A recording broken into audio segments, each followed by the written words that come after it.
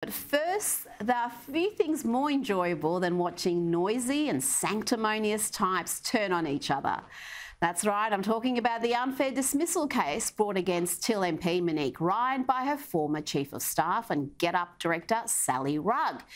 And boy, are we getting the good oil on Ryan. According to documents filed in the federal court, Rugg claims that Ryan said to her, You don't understand.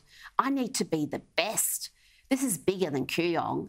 I don't know what this is going to be, but I know it's bigger than Kooyong. I want to be the Prime Minister one day. I need to know my staff are prepared to work hard for me. Prime Minister Monique Ryan. Someone has tickets on themselves, allegedly. Now, wouldn't that be a sensation? The woman best known for being Australia's number one mask Karen thinks she's bigger than Kooyong and could lead the country one day.